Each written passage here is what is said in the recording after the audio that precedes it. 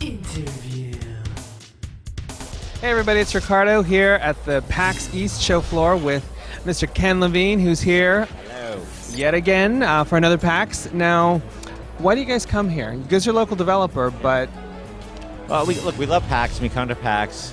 Well, a because it's local, which is great, and like there's no gaming doesn't come to, to Boston a lot. You know, we're gamers in Boston, so it's great to have a show that you don't have to get on a plane for. That's just right here.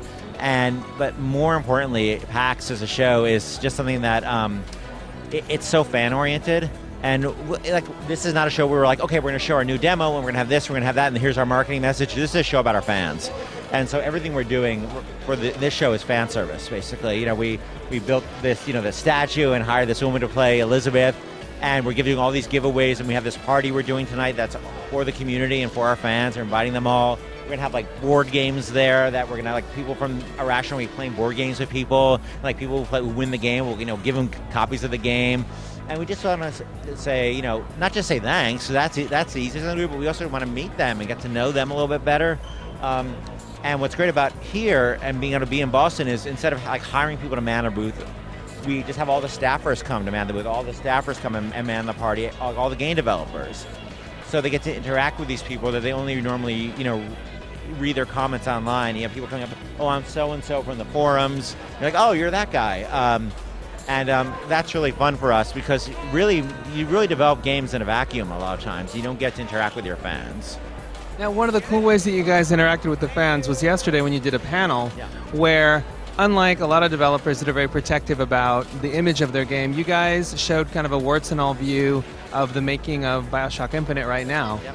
Um, why do something like that? Well, you know, I think we've always tried to do think about how we talk about the game or promote the game a little differently than other people. Like our podcast is really about seeing how we work. Um, you know, where and and, and, for, and for for this panel, instead of doing like a GDC talk when you're done, when you're sort of you're confident how everything worked out, we wanted to bring people into the process and say to them, look, we're just a bunch of guys trying to figure this thing out, you know, and trying to make it good. And sometimes we make right decisions, and sometimes we go the wrong way. And we thought instead of waiting for the game to be done, let's show you. We've been working on this game for a few years. Let's show you some of the in- interesting decisions we've made. Some of them right, and some of them not. You know, some of them maybe not so right. And I think it gives people insight into how we make decisions. And I think gamers appreciate that. I think that they like to feel that they're not just being handed stuff, that they're part of the process. And you know, we're pretty. Tra- we've always been pretty transparent about how we work and about. You know, I talk about the challenges we have, the good stuff we have, the challenges we have, and we try to be try- quite open about that because that's gaming has always been like that. It's always been an interactive um, process with gamers.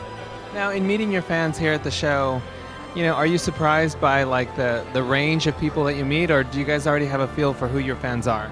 You know, it, it's evolves. I mean, because you know, I think that when gaming, when I started, it was much more what you think of as a traditional gamer. You know, and I love that. You know, I love those guys. The guys, you know, they got their D4s in their pocket, and you know, they're and they're super super hardcore. But I think, and that's great. You definitely see that contingent of PAX. You also now start seeing people that you wouldn't traditionally think of as gamers. Um, you know, like you know, maybe people a little older or people a little like oh, that guy looks super hip or something, you know, and he's like in all fancy clothes or something. And that's great because I think we need that. We need a variety of people, you know, in, in the space. And uh, we get a lot of people saying with Bioshock, like, oh, this is the first video game my wife ever played, you know, because she never plays video games. And I think it's because, not because it's like Bioshock's a really easy game to play, I think it's because it's thematically different. Um, and, but, and I think that's great. I think, you know, the more people we bring into gaming, the better. Um, but we also it's great that we things like PAX Protect. You know, it, it doesn't change. We, it doesn't change to accommodate those people. It just is what it is, and people are drawn to it, and that's really important. Awesome. Well, we're going to let you mingle with your people at your little party, uh, but we will be bugging you in the months to come because we think you might have a few things to say about Bioshock Infinite. One or two, All right. Well, thanks so much, man. There you go. That is just a quick check in from here from the PAX East show floor. We're going to have a lot more for you soon.